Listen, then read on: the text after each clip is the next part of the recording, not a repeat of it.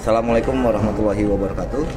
Bros Sever, Bros TV kembali mengudara. Tadi sedikit bincang santai, bukan bincang santai, sekilas info atau sekilas bincang bersama dengan Profesor Jimdi. Dan kali ini di hadapan Bros TV, Bang Dr. Bambang Oyong. R. Oyong, SHMH yang notabene adalah ketua bidang organisasi pengurus pusat ikatan pejabat pembuat tanah. Nah, jadi itu pandangan dari kacamata Mas Bambang Oyong mengenai pelaksanaan yang sudah hampir selesai di hari kedua ini di Lasar 1, 2 dan pembekalan kode etik.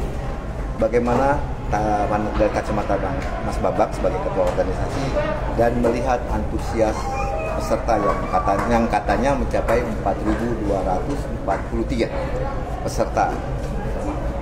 Ya, terima kasih kawan-kawan semuanya yang saya hormati, kawan-kawan uh, yang ada ya selaku anggota PPAT, selaku anggota luar biasa yang ada di seluruh Indonesia. Hari ini merupakan hari kedua kita melaksanakan uh, pendidikan latihan dasar 1 pendidikan dasar 2 dan pembekalan kode etik perkumpulan. Pelaksanaan kegiatan di hari ini merupakan bagian dari IPAT, ya khususnya PP IPAT, menjalankan sebagaimana yang diamanahkan khususnya pada anggaran dasar rumah tangga dan anggaran uh, anggaran dasar dan anggaran rumah tangga. Karena di situ jelas menyebutkan proses untuk menjadi seorang anggota PPAT itu ada tiga hal. Apakah seseorang itu selaku anggota biasa, apakah seseorang itu menjadi anggota luar biasa, apakah seseorang itu menjadi anggota kehormatan. Kita semuanya sudah sama-sama tahu, anggota biasa itu adalah seorang PPAT aktif. Sedangkan yang menjadi anggota luar biasa adalah para calon PPAT ya dan para PPAT yang sudah werda posisi saat ini adalah mengapa PPIPAT ya membuka proses pendaftaran ALB itu sendiri.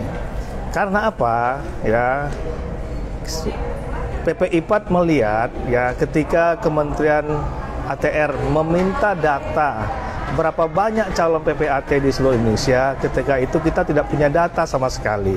Padahal kalau kita ingin melihat ya dari tingkat kelulusan yang ada setiap tahunnya maka lebih kurang rata-rata 1000 calon PPAT. Artinya ketika masa kepengurusan ketua umum yang yang terdahulu ya baik itu zamannya Sapron Sopian, kemudian zamannya Bang Julius Purnawan ya pengelolaan tentang pendaftaran ALB itu tidak sempat di, dikelola secara baik. Artinya kita tidak punya data valid berapa banyak ALB yang merupakan sebagai calon PPAT itu sendiri. Saat inilah kita ya berdasarkan Perkum nomor 1 tahun 2021 dikeluarkan atau ditetapkan pada tanggal 14 Agustus 2021 yang lalu, di situ juga membahas tentang keberadaan dan kedudukan sebagai anggota biasa, anggota luar biasa, ya, dan proses untuk mendapatkan uh, dalam kedudukannya keanggotaan tersebut. Memang ya banyak dipertanyakan oleh teman-teman yang lain ketika PP IPAT memungut uang pangkal. Sebentar bang, sebelum saya ke situ, ya. ada yang menarik. Uh, tadi uh, Mas Bambang bilang kurang mendapat data. Ya. Uh, berapa sih jumlah calon lulusan MKN dari semua kampus yang ada di Indonesia yang mau menjadi apa namanya PPAT, calon PPAT dan ketik dalam anggaran dasar rumah tangga diatur ada namanya anggota biasa, anggota luar biasa kan anggota gitu. kehormatan. Ya, ada anggota kehormatan dan sebagainya. Nah, Bang, apakah ke depan nanti dari PP terutama dari bidang organisasi akan menjalin hubungan dengan prodi-prodi yang ada di Indonesia? Iya, jelas sih ya. Ya PP IPAT pada dasarnya adalah uh, perkumpulan yang berbadan hukum selalu membuka diri karena itu PPIPAT pada saat ini ketika uh, sedang harmonisasinya PPIPAT dengan Kementerian ATR ya sebagai pembina kita selalu mensinkronkan segala kegiatan-kegiatan yang ada di Kementerian ATR dan kepada yang ada di kegiatan kepada uh, PPIPAT sendiri. Membicarakan tentang pembinaan anggota, membicarakan tentang pembinaan yang dilaksanakan oleh Kementerian ATR. Pembinaan itu dilaksanakan untuk kepentingan anggota biasa dan untuk kepentingan anggota luar biasa. Itu yang harus kita pikirkan.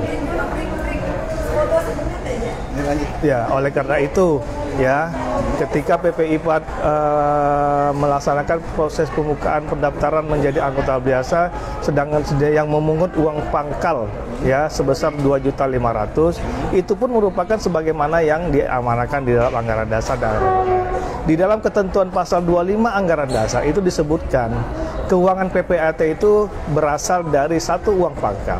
Yang kedua adalah iuran yang diberikan kepada anggota luar biasa. Sedangkan yang ketiga adalah sumbangan-sumbangan yang tidak terikat dan yang keempat adalah hasil-hasil yang diperoleh sepanjang itu tidak bertentangan dengan aturan hukum yang mengatur.